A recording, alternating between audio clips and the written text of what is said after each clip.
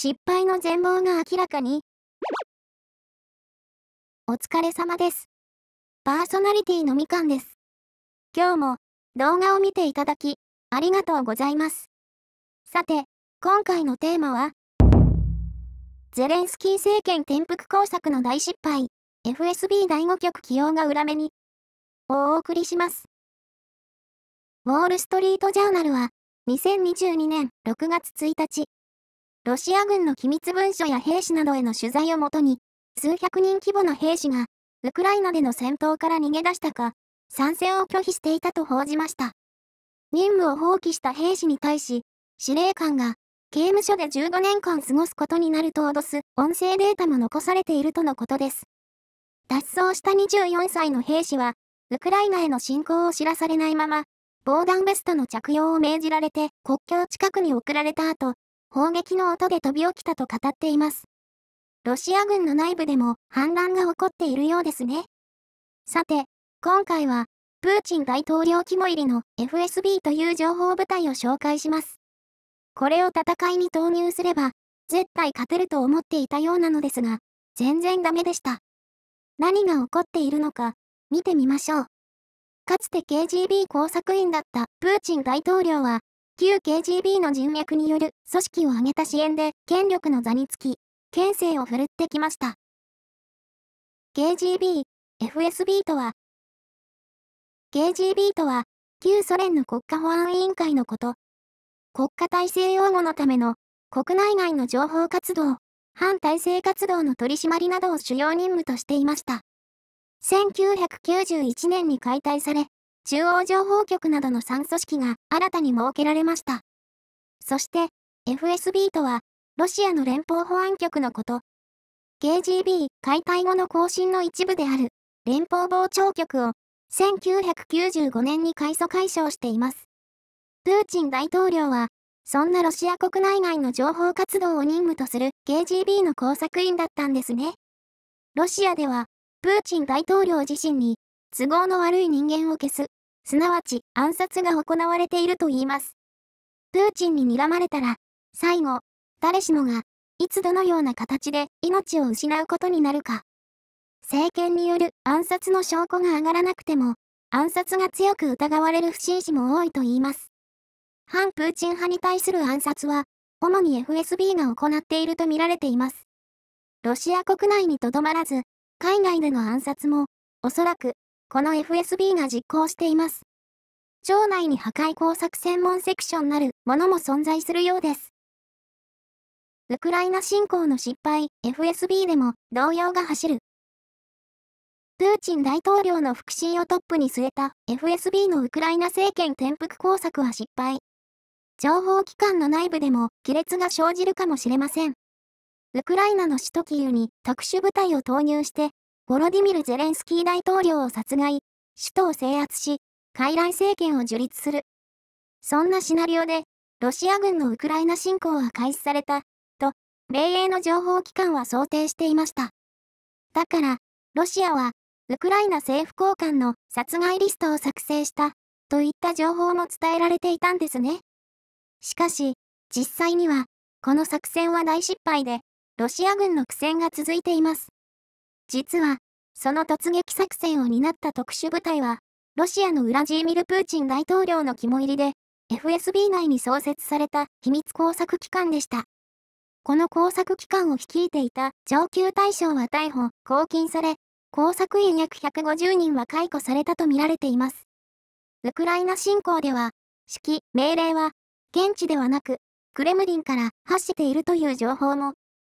プーチン大統領自身の責任も否定できないとみられ、ロシア情報機関の中核である FSB は動揺しているようです。旧 KGB 人脈が組織を挙げて支援した大統領就任。プーチン氏は1952年、レニングラード、現在のサンクトペテルブルク生まれで、今年10月7日で70歳。レニングラード大学を卒業して、KGB、旧ソ連国家保安委員会工作員となり、旧東ドイツ、ドレスデンの駐在先から、ベルリンの壁崩壊の地に帰国。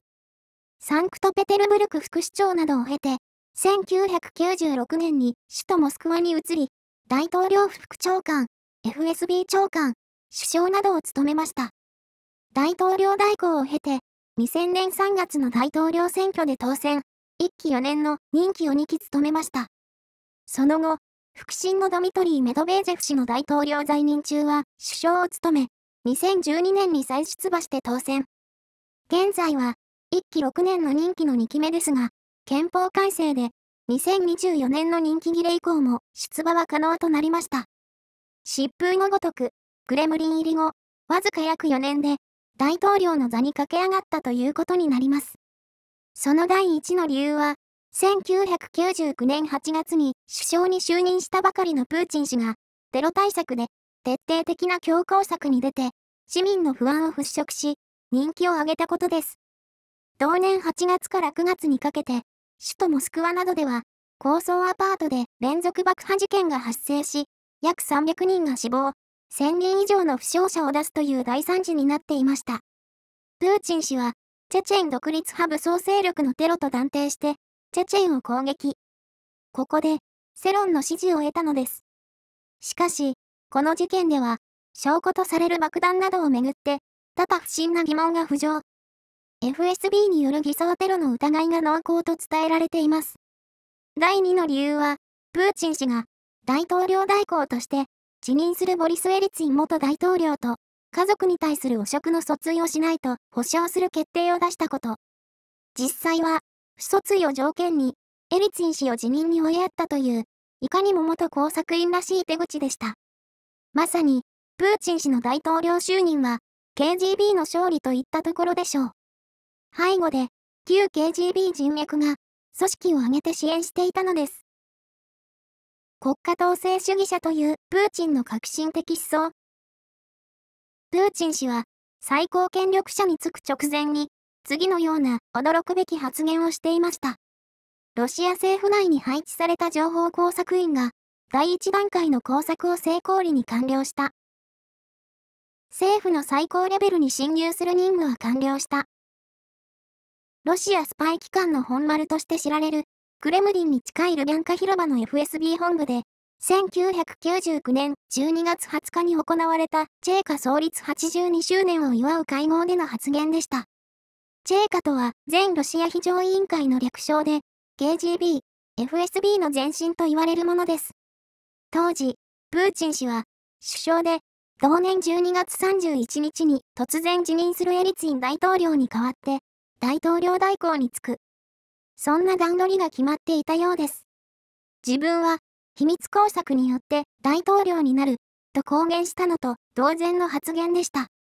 FSB の幹部を前にして本音が出たのでしょうか。プーチン分析で屈指の研究者と言われるブルッキングズ研究所上級研究員フィオナ・ヒル氏のプーチンの世界、皇帝になった工作員、新潮社によると、プーチン氏は国家統制主義者、スタティストだと言います。プーチン氏の考え方は、ロシア革命の際の反革命勢力と戦う傍聴治安機関、チェーカを軸とし、さらに、現在のプーチン政権の革新的思想につながるものです。チェーカの更新、KGB は、1991年8月のクーデター未遂事件で解体され、ソ連も崩壊、社会主義は終わりました。ですが、KGB の人的ネットワークは健在で、治安機関、軍部の実力者集団である、いわゆる白引きを形成。解体直前の KGB は、推定で72万人もの人員を抱え、協力者は290万人に達していたと言いますから、超巨大組織ですよね。プーチン氏がクレムリン入りした当時、ロシアは国家的危機に瀕していました。自らロシア国家を担う2000年明けの直前に出したミレニアムメッセージで、彼は強硬なテロ対策をてこに、導き、統制する国家の最高を社会は望んでいると訴えました。カラー革命、NATO 拡大で協調から反米に、冷戦終結後の10年間余り、東西関係は良好でした。北大西洋条約機構 NATO とロシアの間では、1994年6月に平和のためのパートナーシップ協定、1997年5月には NATO とロシアの相互関係、協力、安全保障に関する基本決定が結ばれました。主要国首脳会議に、ロシアは1994年の政治討議から参加し、2003年にはフルメンバーとなっています。その後、2014年のクリミア半島併合で参加資格停止処分となりました。ところが、2004年、ウクライナで大衆運動が引き起こしたオレンジ革命や、その他の旧ソ連構成国などで起きたカラー革命、さらに、東欧7カ国が一気に NATO に加盟して、東西関係は暗転。プーチン大統領は、米国が国際的な非政府組織 NGO などに資金援助して民主主義の拡大を進めたと非難し、米中央情報局 CIA に対する警戒を強め、反米に舵を切ったというわけです。第5局長に最も信頼していたベセダ上級大将を任命したものの、プーチン大統領は、実は、それ以前から情報機関の強化に努めていました。特に、カウンターインテリジェンス、傍聴を主要任務とする FSB の組織改革、強化をしています。FSB は、2003年に約21万人を抱える国境警備隊を吸収合併。さらに、連邦政府通信情報局、ハプシを解体して、その主要機能を FSB に、軍事通信部門を国防総省に組み込んだのです。このようにして、FSB は、KGB のように、総合的で大規模な情報機関に拡大していきました。また、プーチン大統領は、自分が FSB 長官だった1998年に、第5局という新たな部門を設置。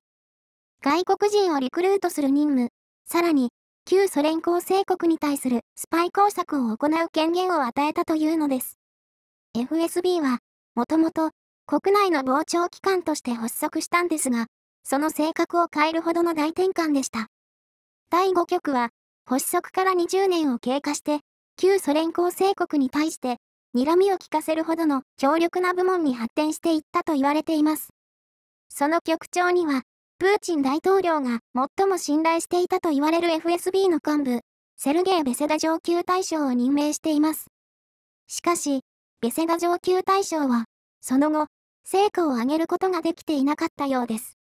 アメリカ外交誌、フォーリンポリシーなど米メディアにも寄稿するロシアの調査報道ジャーナリスト、アンドレイ・ソルダトフ氏は、2014年のマイダン革命の際、ベセダ上級大将は、ウクライナやアブハジア、モルドバの現場で、第5局の工作員が逮捕されるといった失態が表面化したと報道しました。傀儡政権樹立へ、稚拙な工作があった。それにもかかわらず、プーチン政権は、今回のウクライナ侵攻に向けた秘密工作で、第5局には、ウクライナの政治インテリジェンス収集と親ロ派野党勢力への手こ入れ、という重要なミッションを与えました。第5局は、今年2022年2月までに、1チーム10から20人からなる特殊工作員契約200人をウクライナに派遣したとの情報も、